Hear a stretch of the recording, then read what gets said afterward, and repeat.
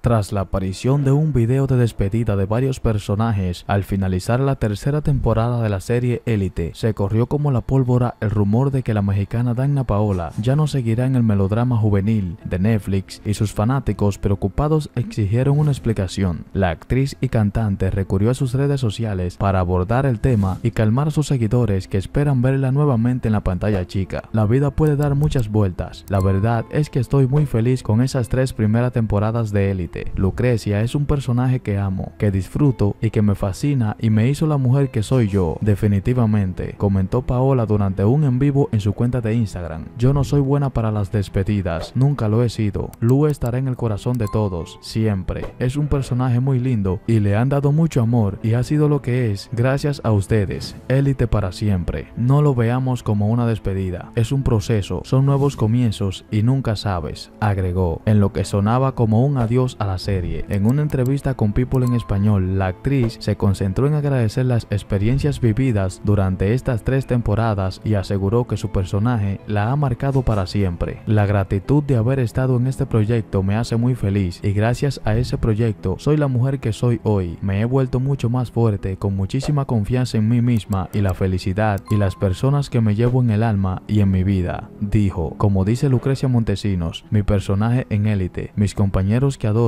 son las almas más increíbles. Me ha tocado grabar series y novelas y nunca se había generado lo que generé con ellos. Debido a la pandemia, todos los proyectos de la actriz se han puesto en alto. Sin embargo, continúa creando música desde la intimidad de su hogar y esperando el día en que pueda regresar a los escenarios tras la contingencia sanitaria. Tengo un montón de música, tengo series y cine en puerta. La gira que tengo por Latinoamérica se hará como por agosto. Lo primero que haré cuando se acabe esto es salir de gira y por supuesto agradecer, ir a correr, a ver a mis sobrinos, a mis papás, a mis abuelos, adelantó emocionada.